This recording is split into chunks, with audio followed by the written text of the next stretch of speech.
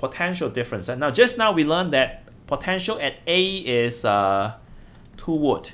Potential at B is 5 volt. So then what is the potential difference between A and B? Potential difference.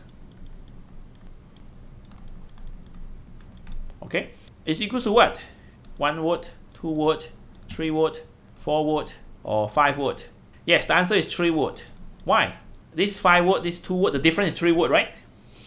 So the potential difference between point A and point B is uh, 3 volt. So what is potential difference? Potential difference is the difference of the potential. difference is the potential. But anyway, from the definitions, eh, the potential difference between two points is defined as the work done to move one coulombs of positive charge from one point to another point. What does this mean? Eh? Okay, now just now we know that uh, point B, 5 volt, right? Point A, uh, 2 volt, eh? 2 volt. So, if you move this one coulombs of charge from uh, this uh, infinity to point A, you do 2 joules of work, right? How about if you want to move this one coulombs of charge, eh? you move it to point B. How many joules of work need to be done? Yes, can any of you tell me? If you move from infinity to A, you do 2 joules of work because it's 2 volt, eh? because the potential 2 volt. B, the potential 5 volt. So how many joules of work need to be done to move this one coulombs of charge from infinity to B? Cindy say 5 joule. Yes. Yes. Okay. Why? Because the potential 5 volt. 5 volt means you must do 5 joules of work uh, to move 1 coulombs of charge, right? Now, if this point A, it move this 1 coulombs of charge, uh, you do 2 joules of work to point A, yeah? After that, it's already in A, yeah? After that, this point B, it move this charge from point A to point B.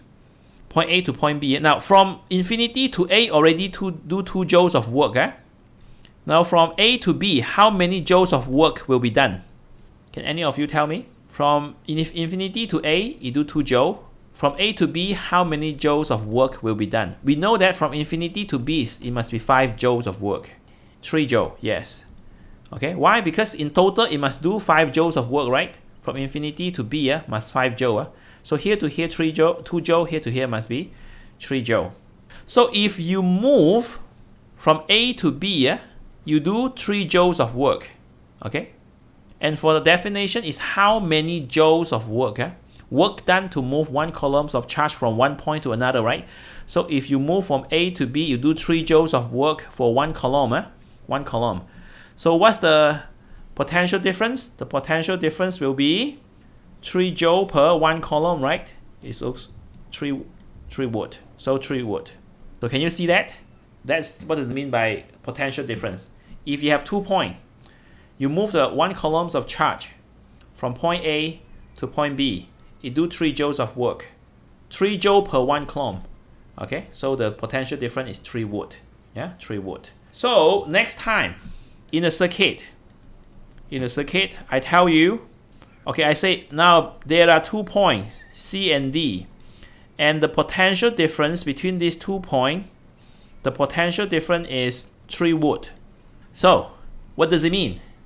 It means if you want to move one coulombs of charge from C to D, you must do 3 joules of work. So 3 would means 3 joule per one coulomb.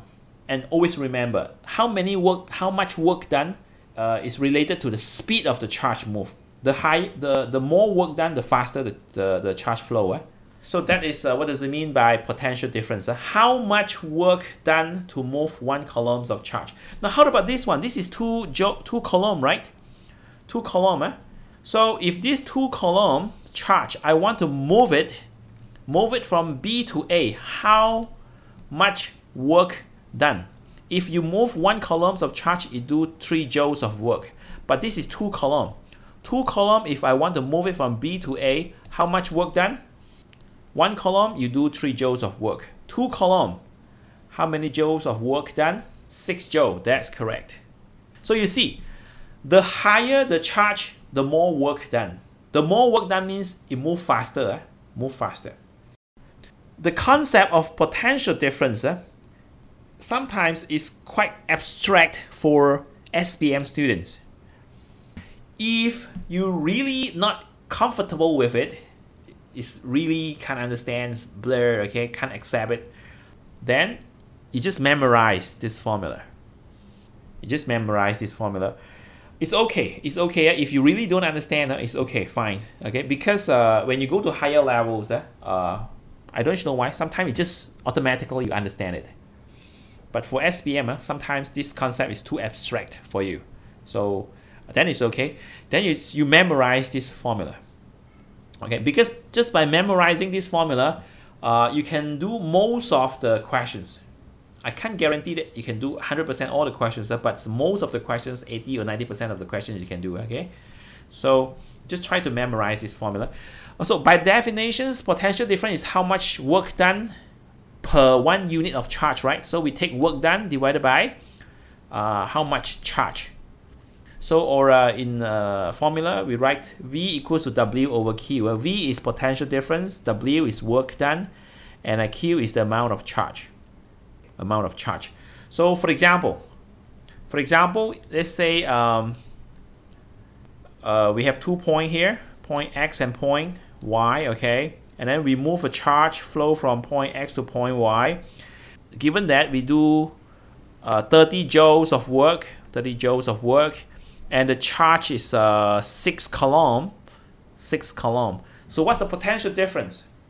So just by using the formula V equals to W over Q, okay? Uh, w is uh, 30 joule, right? 30 joule. Charge is 6 coulomb, okay? So this is equals to 5 joule per coulomb. And joule per coulomb is watt. Joule per coulomb is equal to watt. So the potential difference is 5 watt. So if you're not comfortable with the, the, the, the definitions, but you still need to memorize the definition because this may be uh, this can be asked in exam. So you memorize the definitions and then you memorize this formula. Okay, and this formula can help you to solve the calculations problems. So potential difference is how much work done to move one coulombs of charge. Okay, so that is potential difference. So this example, this, this is example in your notes. Huh? Okay, let's say uh, we have point A and point B, and then we move two coulombs of charge from point A to point B, and then we do 10 joules of work, right? So what's the potential difference between A and B? Potential difference between A and B is 10 joule per 2 coulomb. Huh? We use the formula V equal to Q over C. Yeah? Okay, in this case, the Q is uh, 10 joule and the C is 2 coulomb, right? Work, uh, sorry, sorry, sorry. Uh, I make a mistake. Uh, v equals to W over Q. Eh? V equals to W over Q, and uh, the work done is 10 joule, and uh, the Q is 2 coulomb. Q is 2 coulomb. Eh? Okay, so therefore it's a 10 joule per 2 coulomb.